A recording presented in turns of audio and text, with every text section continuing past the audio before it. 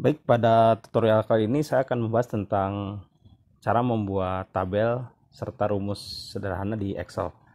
Jadi studi kasusnya seperti ini, saya punya daftar harga barang, nanti outputnya adalah kita bisa melihat presentasi keuntungan, eh, berapa persen keuntungan yang didapat, seperti ini ya.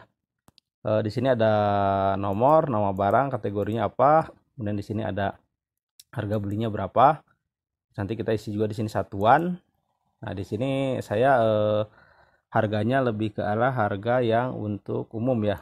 Nanti presentasinya eh, rumusnya menggunakan rumus yang untuk harga jual ke umum.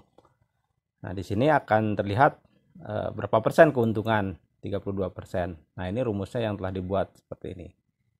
Oke kita langsung saja buat tabelnya ya. Jadi saya akan buat di sebelahnya. Jadi seperti biasa uh, untuk membuat seperti ini nanti kita tinggal klik di sini ya.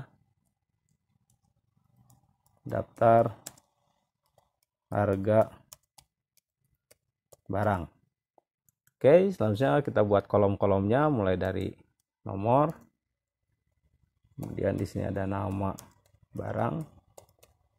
Nah di sini terlihat kalau kolomnya uh, seperti ini ini bisa kita geser. Cara gesernya bisa dua cara cara seperti ini bisa atau cara cepat juga bisa dicara dengan cara double klik ya. Ini double klik aja ada tanda hitam double klik nah seperti ini. Kemudian ada kategori. Kemudian ada harga beli. Nah di sini saya langsung masuk ke harga satuan. Di sini ada satuan dan di sini ada harga jual. Nah, harga jualnya saya di sini menggunakan harga yang umum saja ya. Jadi saya di sini kolomnya nanti ada harga jual untuk umum, kita taruh di sini dan satu lagi ada harga jual untuk reseller. Nah, di sini baru adalah keuntungan. Keuntungan eh, berapa persen?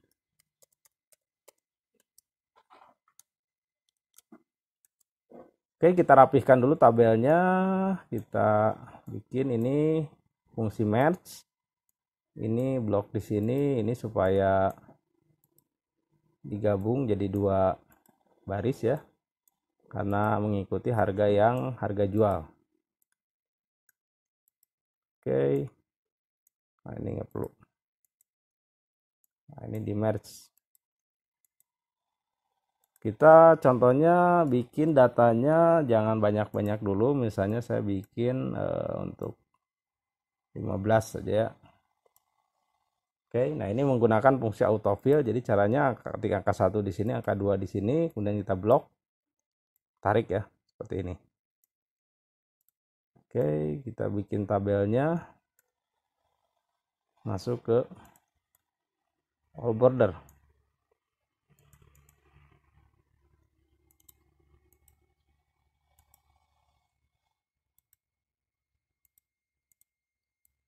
Ini kita taruh di tengah. Oke seperti ini ya teman-teman. Tabelnya sudah jadi. Nah misalnya kita untuk nama barang nah ini kita copy aja dari sini ya datanya. Karena ini bukan rumus. Nah, kita copy misalnya nah tiga item aja dulu. Tiga item. Ini kemudian kita klik kanan paste Nah, di sini. Oke. Nanti untuk satuan bisa kita gunakan data validation ya. Ini supaya kita bisa milih ya. Nanti saya tambahkan juga fungsinya. Oke, untuk umum harganya misalnya 25.000. Ini 30.000. Ini 17.000. Nah, karena kita akan mencari keuntungan, berarti persentasenya nanti rumusnya di sini. Jadi rumusnya kita lihat di sini ya rumus yang digunakan adalah di sini F5 menunjukkan ke sel harga jual ya harga jual untuk umum. Jadi harga jual dikurangi D5 ini harga beli. Nah nanti dibagi eh, harga jual dikali 100% ya seperti itu. Jadi kalau di sini berarti rumusnya adalah sama dengan berarti ini F5 dikurangi di sini ya. Kemudian nanti dibagi eh, sini lagi P5 dikali 100 persen. Nah jadi keuntungannya adalah 24 persen. Nah ini untuk rumus ke bawahnya nanti kita tarik aja. Nah seperti ini. Nah ini untuk persentasenya nanti kita format eh, sel ganti persentasenya jadi persen. Ini masuk ke persen kemudian kita pilih oke. Nah di sini untuk membulatkannya sebenarnya tinggal dipilih ini ya. Nah ini increase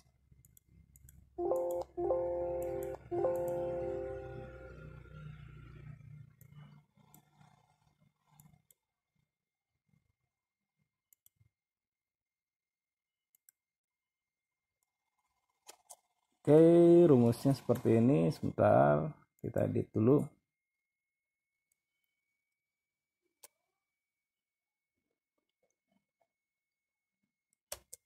Nah, ini ya.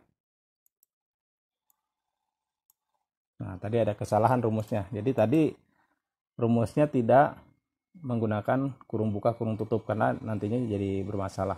Nah, seperti ini ya rumusnya. Jadi keuntungannya dia langsung otomatis sudah dapat. Nah, ini 0% karena ininya harga jualnya adalah 17.000. Kita taikin misalnya harga jualnya 29.000. Nah, nah ini keuntungan dia otomatis 41%. Ya. Oke, untuk item yang di bawahnya bisa kita copy misalnya ke sini.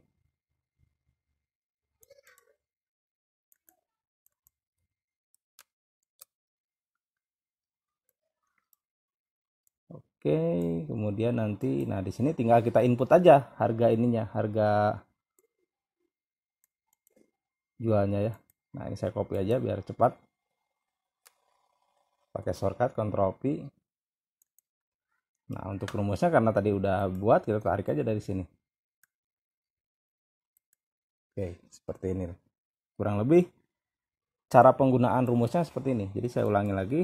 Jadi P5 berada di posisi harga jual untuk umum dikurangi harga beli. N5 jangan lupa diberikan kurung tutup ya. Nah nanti dibagi eh, harga jual dikali 100% nanti akan didapatkan keuntungan. Untuk satuan nanti teman-teman bisa bikin pakai list data validation. Nah ini saya contohkan saja cara membuat data validation. Ini langkahnya tinggal klik di sini masuk ke data nanti pilih di sini adalah data validation ya. Nah di sini kita pilih list. Oke kita pilih list. Nah di source di sini sebenarnya kita bisa isi manual uh, datanya misalnya satuannya which kemudian karton dus ya misalnya kilogram dan yang lainnya. Nanti bisa kita input di sini kemudian kita pilih oke.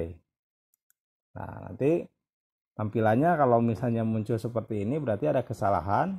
Kesalahannya adalah kita harus menggunakan titik koma bukan koma karena settingan komputer di jam saya adalah di sini menggunakan Indonesia.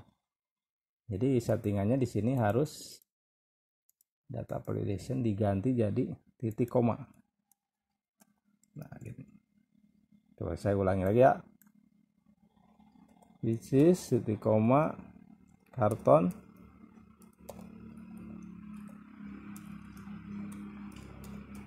Dus kilogram dan lainnya misalnya gitu ya.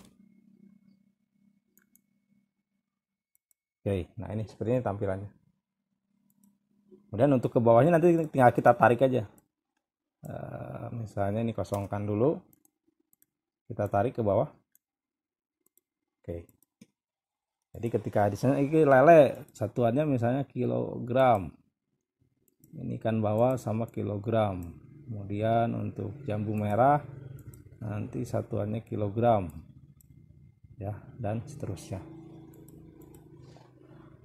Oke jadi eh, tujuan utama tutorial ini hanya membuat tabel sederhana ya dengan membuat fungsi dasar rumus disertakan dengan feature Excel yaitu data validation Oke, semoga bermanfaat tutorial kali ini. Sampai ketemu di tutorial Excel selanjutnya. Sekian dan terima kasih.